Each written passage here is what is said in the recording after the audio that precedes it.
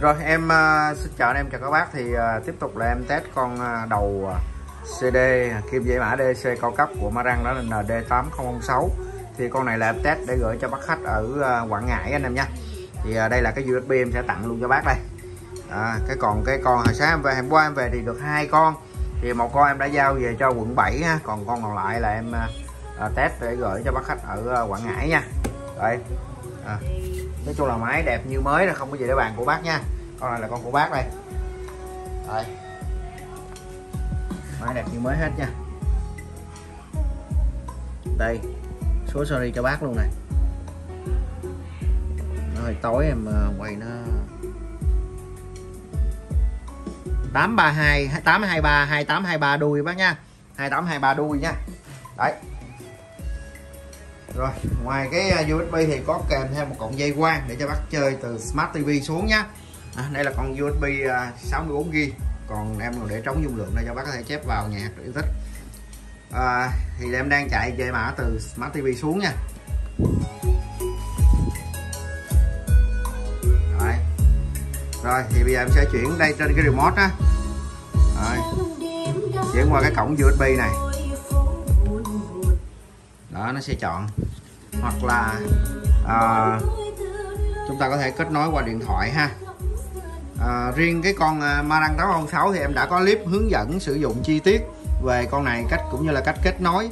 Thì à, anh em các bác có thể à, tìm lại cái link đó bằng cách là gõ hướng dẫn sử dụng à, Marang ND806 là nó sẽ ra thôi nhé.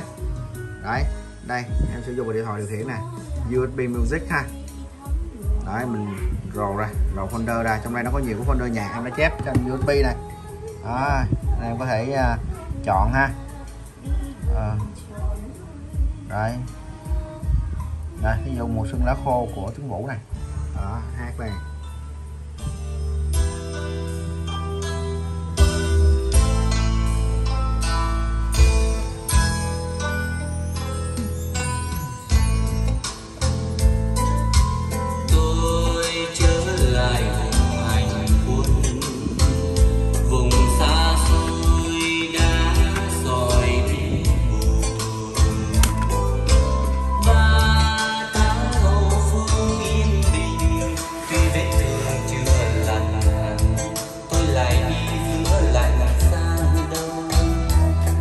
đời tôi chinh chiến lâu năm, yêu lúc băng rừng tình kiếp chúng tôi. Rồi, em ờ, chế qua chế độ là test CD đây, test CD luôn. Thì thật ra những cái con này ờ, hồi đó giờ em bán không có con nào mà bị lỗi luôn em. Đấy nó rất là ok luôn không bị lỗi kể cả cái phần mềm nó cũng không có lỗi luôn Nha. nó vào vỉa rồi chúng ta lay thôi đấy cho nên à, chúng ta chơi thoải mái ha khỏi phải suy nghĩ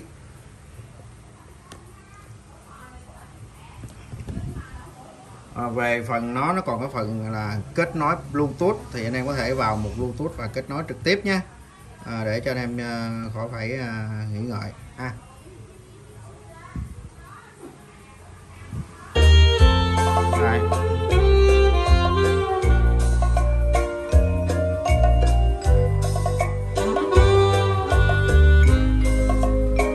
Rồi thì con à, à, CD à, S10 à, hai La Mã cũng đã có chủ về Thanh Hóa thì à, chút xíu nữa em sẽ à, à test cho đóng gói luôn anh em nha